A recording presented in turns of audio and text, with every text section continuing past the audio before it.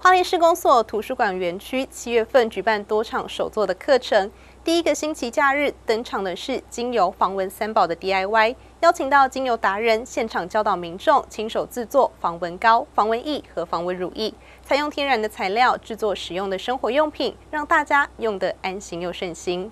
花莲市公所图书馆的生活艺能教室，还有乐龄学识教室，在七月份开办了多场手作课程，以贴近民众的生活需求为主，邀请到各个领域的专业老师指导民众亲手 DIY。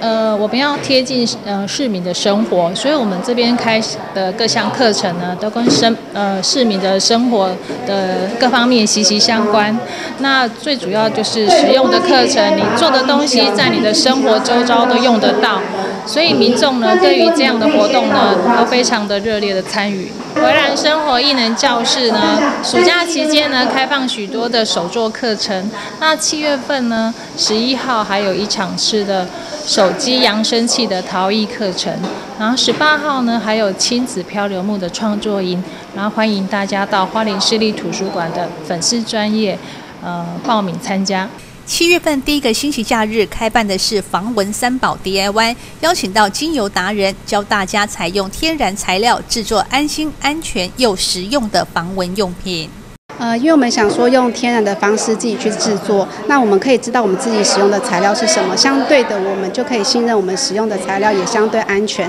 那因为我们使用的也是天然的东西，所以我们的效期大概都是半年，所以刚好今今年的夏天就是半年左右，我们的防蚊三宝就可以让大家一起度过这个夏天。我们就是自己 DIY，然后自己所需要的东西我们自己来做。那我们都是用很天然的配方。那像我们的油品就用安地罗巴果油，它就是可以止痒也可以驱蚊。对，所以大家今天看到我们的材料这么天然，其实学员都很开心。